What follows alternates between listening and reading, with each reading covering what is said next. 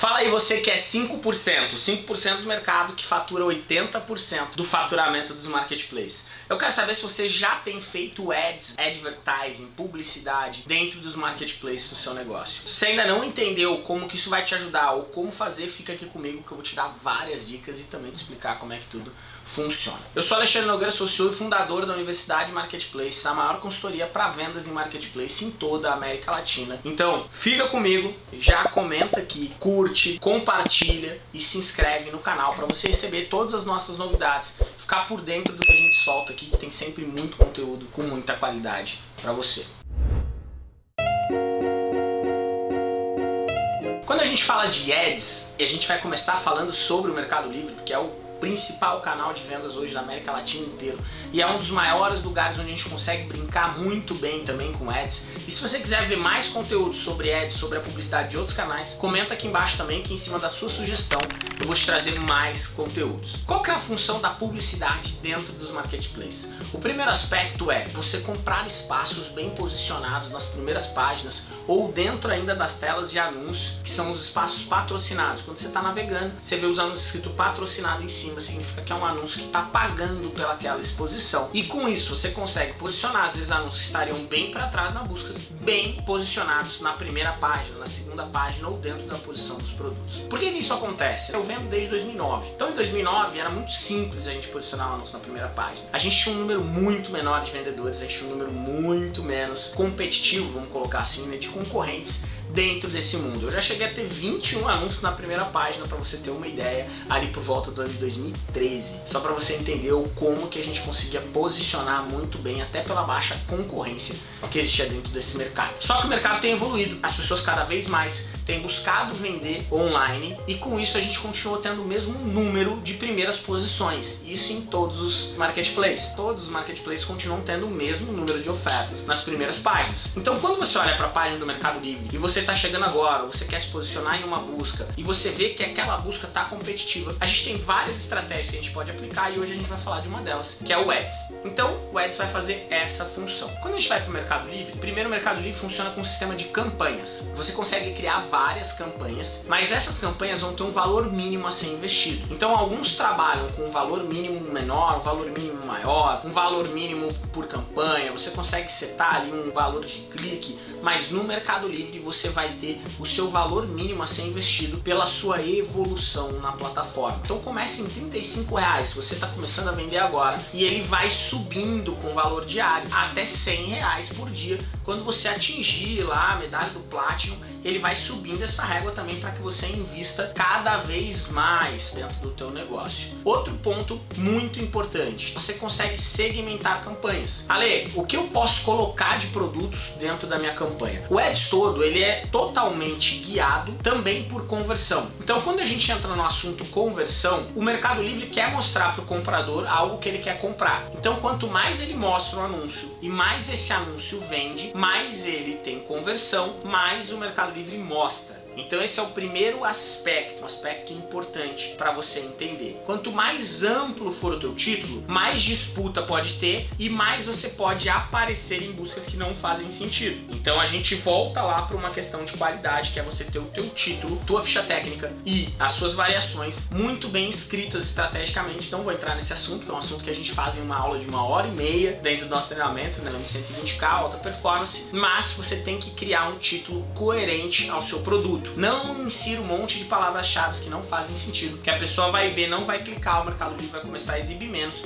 ou ela vai clicar e vai embora, o que é pior ainda dentro desse cenário. Vamos lá agora entender os três tipos de campanha que o Mercado Livre tem. Essa ferramenta tem avançado demais. Antigamente você fazia só um tipo de campanha, você não conseguia fazer nada mais. Hoje o Mercado Livre trabalha com três tipos de campanha, que são essas aqui que a gente vai colocar na tela agora.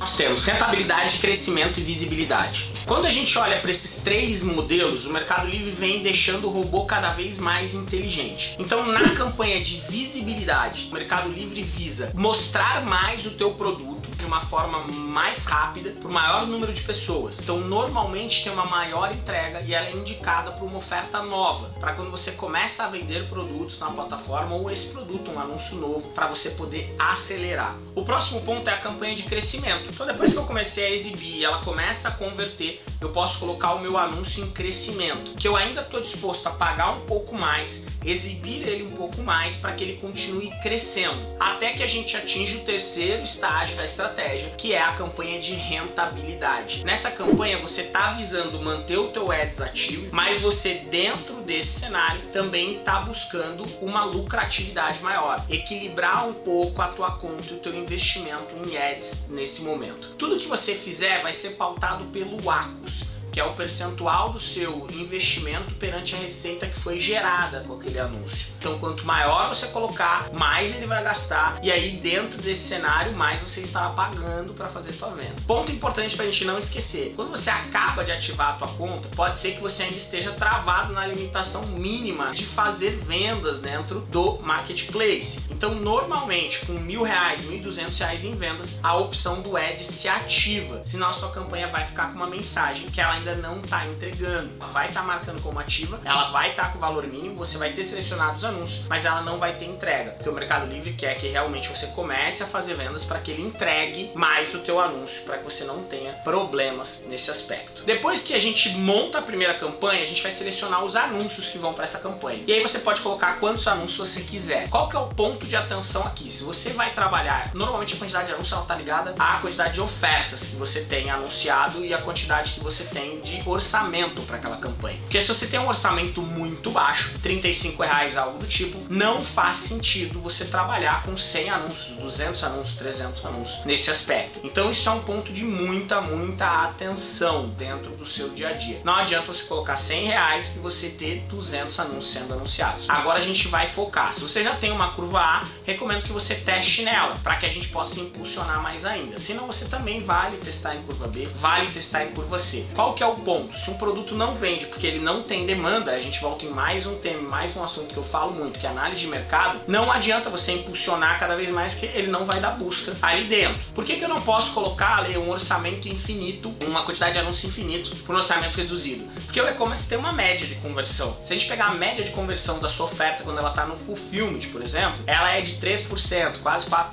Então eu estou dizendo que a cada 100 visitas eu faço 3 vendas, 4 vendas. Quando eu chego nesse nesse aspecto, eu já subentendo que se eu pago o valor do clique, eu estou colocando 100 reais, eu tenho um número X de cliques. Esse valor de clique ele vai mudar de categoria para categoria. E aí você tem que olhar a tua e você entender quanto está cobrando, porque ele é fixo. Quem determina o valor do clique é o Mercado Livre ali diretamente pela competitividade da categoria e da quantidade de concorrentes. Então presta atenção, cuidado, porque tem muita gente no mercado que manda você criar uma campanha e colocar 500 anúncios dentro dela. Isso não vai ser efetivo. Até para que você possa gerir, para que você possa acompanhar. Então faz sentido eu começar do zero com 3, 4 campanhas? Não faz sentido. E os orçamentos das campanhas eles se somam. Então quando você opta por colocar 50 reais em uma campanha, ter uma segunda campanha, a terceira campanha, sim, você pode gastar até 150 reais por dia com aquele orçamento. Então toma bastante cuidado com isso. Pontos pra gente entender. Ale, então eu sempre vou gastar o máximo da campanha? Tudo isso vai estar ligado com a sua quantidade de ofertas. Se você não tiver o suficiente no teu bolso para gastar 35 reais por dia porque você está começando agora, mas você não tem isso, então você vai limitar muito, colocando uma oferta, muitas vezes duas, para que você não gaste nem o total do seu orçamento, para que você tenha clique, mas tenha menos cliques ali dentro. Então isso também é um fator importante para você poder gerir dentro das suas ofertas dentro da publicidade. Anunciei ali agora como é que eu faço a gestão disso. Por padrão, isso já dito pelo Mercado Livre, a gente precisa de 30 dias para uma oferta nova ganhar performance máxima, 30 dias contínuo, baseado na inteligência que o robozinho vai criando ali dentro para te entregar mais. E se é um anúncio que já tem venda, você precisa de uma média de 7 dias pelo menos para você tracionar. Então se programe para poder investir de forma contínua dentro do teu negócio. Baseado nisso, o que você vai fazer? Dentro do meu negócio eu faço uma análise diária, onde eu não tomo grandes decisões, muitas mudanças de campanha, colocar produtos, tirar os produtos, não. A não ser que um produto que eu coloquei esteja consumindo todo o meu orçamento e não permitido que outro gaste. Então, partindo desse ponto, olha todo dia, mas muda uma vez por semana, no máximo. Ale, não preciso testar, tá rolando, tá dando bom aqui. Deixa o negócio continuar rodando para que você possa continuar vendendo ali diretamente.